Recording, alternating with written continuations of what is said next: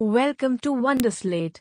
Subscribe to our Telegram channel given in the description to updates and study materials. Topic for today's quiz is Animal Kingdom.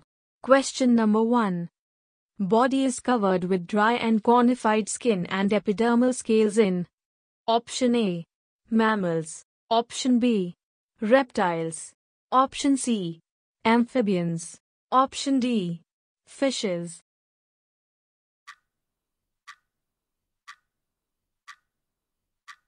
The correct answer is Option B.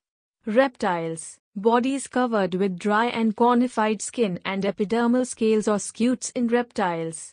Mammals possess hair on their skin. Amphibians have smooth and moist skin devoid of scales. Fishes possess different kinds of scales covering their skin. Question number 2. Animals in which the body cavity is not lined by mesoderm, and instead, the mesoderm is present as scattered pouches in between the ectoderm and endoderm are Option A. Acoelomates. Option B. Pseudocoelomates. Option C. Coelomates. Option D. Hemicoelomates.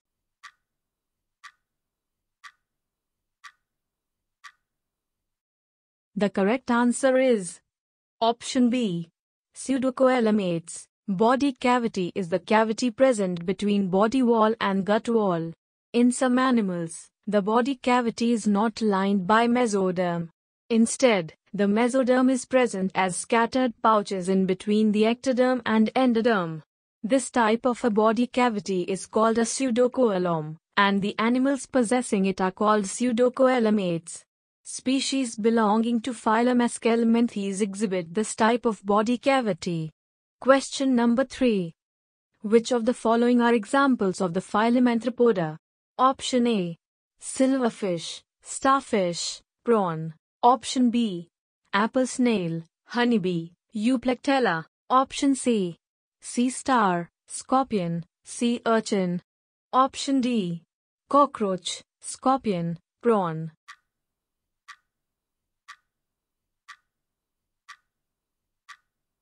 The correct answer is Option D. Cockroach, scorpion, prawn. Cockroach, scorpion and prawn belong to the phylum Arthropoda. Silverfish is a small wingless insect, phylum Arthropoda. Starfish is an echinoderm. Euplectella is a genus of glass sponges, phylum Porifera. Apple snail belongs to phylum Mollusca. Honeybees are insects belonging to phylum Arthropoda. Question number 4. Which of the following exhibits metamerism? Option A. Annelida. Option B. Aschelminthes. Option C. Platyhelminthes. Option D. Both Annelida and Aschelminthes.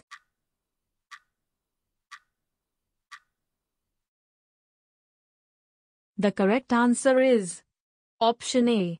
Annelida. Metamerism is the phenomenon of having a linear series of body segments fundamentally similar in structure. The individual segments are known as metameres.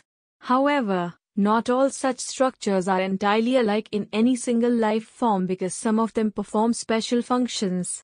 Annelids such as earthworms are a good example of metamerism. Most animals higher than annelids in the animal kingdom also exhibit metamerism at least during some part of their life history. Question number 5. The animals which are exclusively aquatic, sessile, with cellular level of organization of the body are placed in phylum underscore. Option A. Protozoa. Option B. Porifera. Option C. Ctenophora. Option D. Cnidaria.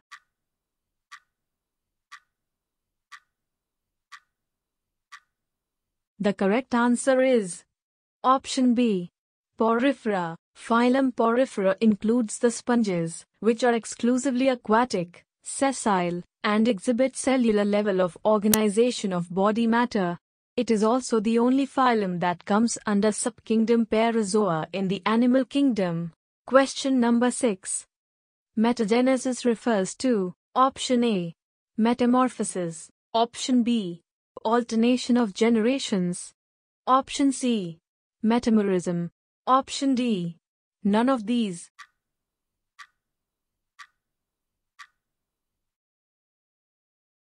The correct answer is Option B. Alternation of generations. Metagenesis is basically the alternation of generations between sexual and asexual reproduction. In other words, a generation developed by sexual means is followed by one or more that reproduce asexually. Many cnidarians exhibit this. Based on this, cnidarians exhibit two basic body forms, the asexual polyp and sexual medusa. Many cnidarians are restricted to one of these types throughout their life. For example, Hydra is found in the polyp form, while the jellyfish, Aurelia, is found in the medusa form. Others, such as Obelia, exhibit both the forms during their life cycle, and thus, such cnidarians are the ones that exhibit metagenesis, as they keep alternating between the polyp and medusa stages. Question number 7. The connecting link between invertebrates and chordates is the I underscore that belongs to the phylum. 2 underscore and has a larval form called 3 underscore which resembles the larval form of 4 underscore. Option A. I. Asterias. 2. Echinodermata. 3. Tornaria. 4. Hemichordata. Option B. I. Acorn worm. 2. Hemichordata. 3. Trochophore. 4. Echinodermata. Option C. I. Acorn worm. 2. Hemichordata. 3. Tornaria. 4. Echinodermata. Option D. I. Asterias. 2. Echinodermata. 3. Bipinnaria. 4. Hemichordata.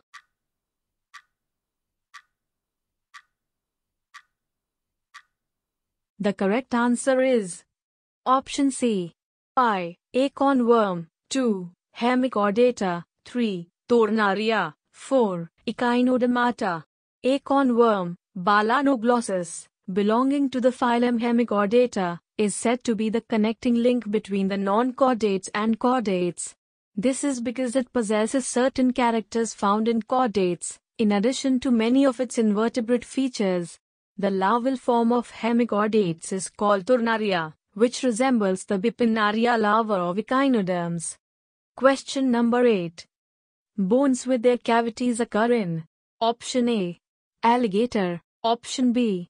Corvus. Option C. Naja. Option D. Canis.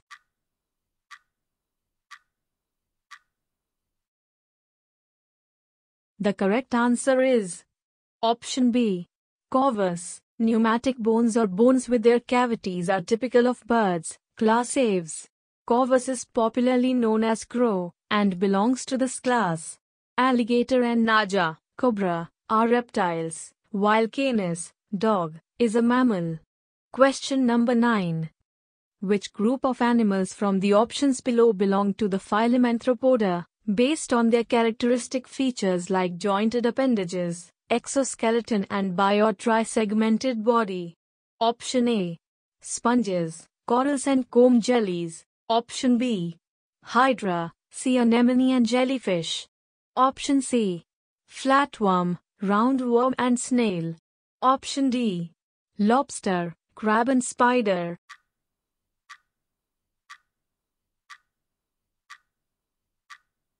The correct answer is Option D. Lobster, crab and spider. Lobster, crab and spider belong to phylum Arthropoda, with characteristic features like jointed appendages, exoskeleton, and a two or three segmented body. This refers to fused segments or tagmata such as the head, thorax and abdomen. Question number 10. The body is divided into segments in Option A. Fasciola. Option B. Ascaris. Option C. Ancylostoma. Option D. Nereis.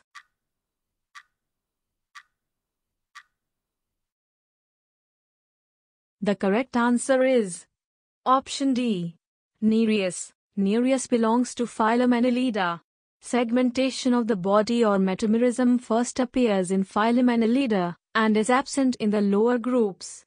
Fasciola belongs to phylum Platyhelminthes, while Ascaris and Ancylostoma belong to phylum Aschelminthes, both of which are lower phyla than Annelida in the animal kingdom. Question number 11. Water circulation in sponges does not help in Option A. Locomotion. Option B. Respiration. Option C. Food gathering. Option D. Removal of waste.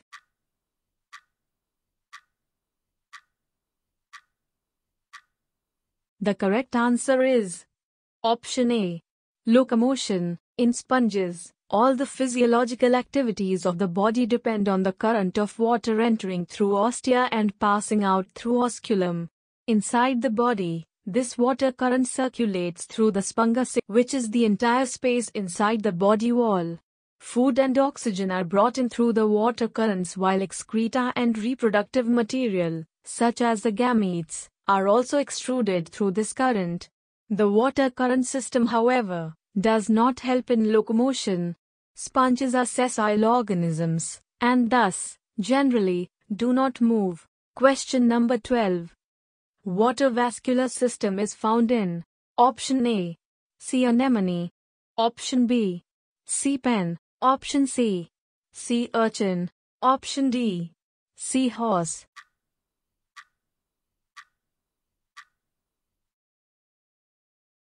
The correct answer is Option C.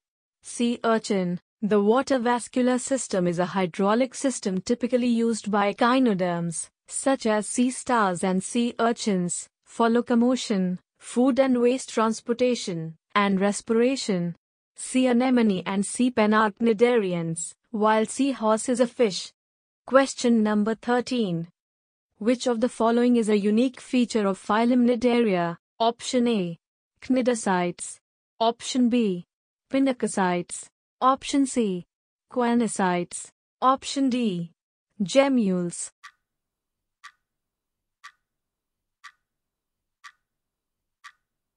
The correct answer is Option A. Cnidocytes. The phylum name Cnidaria is suggestive of the unique feature it exhibits, the specialized defensive venom cells in them, called cnidocytes. Pinacocytes and choanocytes are cells found in sponges. Gemmules are internal buds found in sponges and are involved in asexual reproduction. It is an asexually reproduced mass of cells that is capable of developing into a new organism, that is an adult sponge. Question number 14. Which one of the following belongs to phylum Platyhelminthes? Option A. Plasmodium. Option B. Fasciola. Option C. Wuchereria. Option D. Trypanosoma.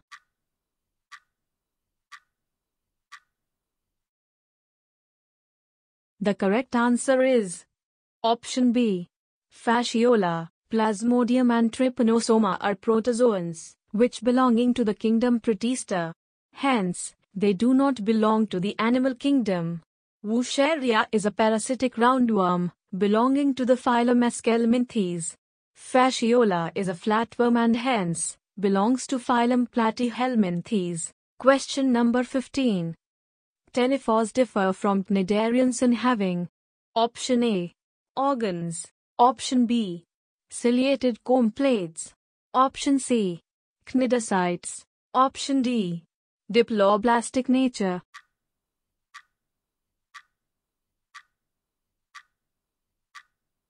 The correct answer is Option B. Ciliated comb plates. Both cnidarians and ctenophores exhibit tissue level of organization and are also diploblastic. Cnidocytes or stinging cells are found only in cnidarians while ctenophores possess unique ciliated comb plates which help in locomotion. Question number 16. The animals belonging to Hemichordata are exclusively underscore. Option A. Terrestrial. Option B. Amphibian. Option C. Aerial. Option D. Marine.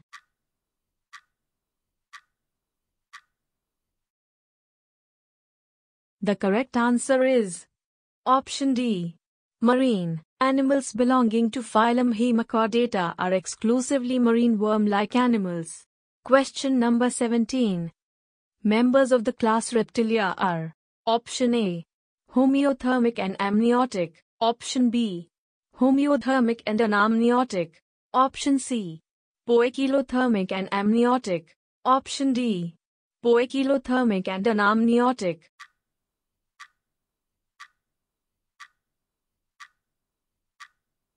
The correct answer is Option C.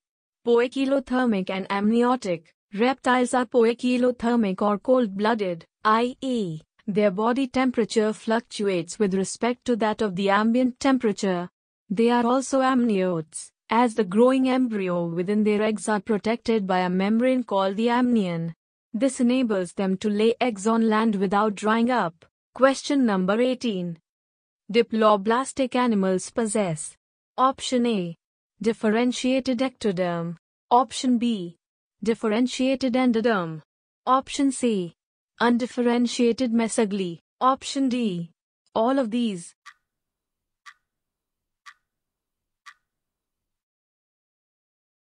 The correct answer is Option D. All of these. Diploblastic animals are those that develop two germ layers during early embryonic development. These layers are the outer ectoderm and the inner endoderm, along with a gelatinous substance called mesoglea in between. The endoderm differentiates into true tissue. This includes tissue associated with the gut and associated glands. The ectoderm, on the other hand, gives rise to the epidermis, the nervous tissue, and if present, nephridia. The mesoglea does not differentiate into any major tissue, it merely serves as an internal skeleton, supporting the body, along with performing other minor functions. Question number 19. Identify a living fossil from the following. Option A. Limulus. Option B. Pheretima. Option C. Ascaris. Option D. Periplaneta.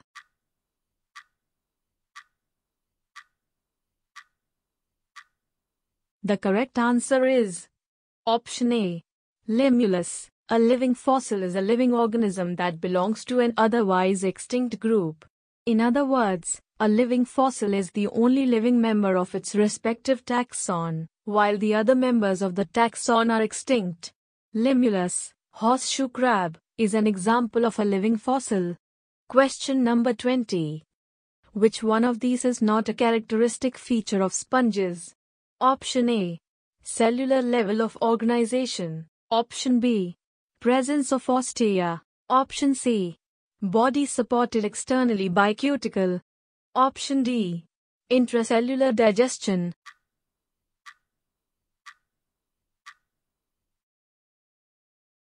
The correct answer is Option C. Body supported externally by cuticle. In sponges, the body is supported by spicules made of calcium or silica or proteinaceous spongin fibers, but not cuticle.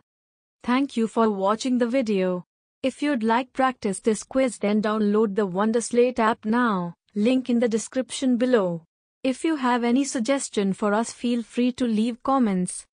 If you liked the video and want to see more of it hit the thumbs up and don't forget to click on subscribe button to get more updates of the future videos.